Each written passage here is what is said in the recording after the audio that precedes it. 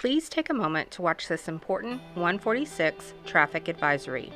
Starting on Friday, March 18th, both north and southbound traffic on State Highway 146 in Seabrook will be shifted to the newly constructed north and southbound frontage roads. This phase of the project will allow contractors to build the new main lanes and overpasses. This also means that motorists will need to adhere to a new traffic pattern. Motorists will no longer be able to turn left onto the highway except at the following intersections Red Bluff, Repsdorph and East Meyer, and NASA Parkway. Motorists may use these intersections to change direction either north or southbound.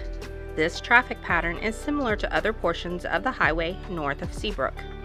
Motorists should also be aware that the Red Bluff overpass will be closed until new on and off ramps at this overpass are constructed.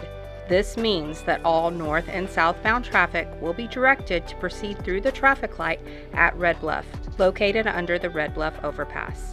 Motorists can expect traffic delays at this intersection, especially during rush hour traffic periods. If you have any questions, you may contact our office by emailing citycomm at seabrooktx.gov. Again, that is C I T Y C O M M at seabrooktx.gov. While this is not a City of Seabrook project, we will do our best to answer your questions.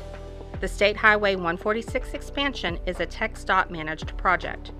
For more information about this project, visit sh146.com.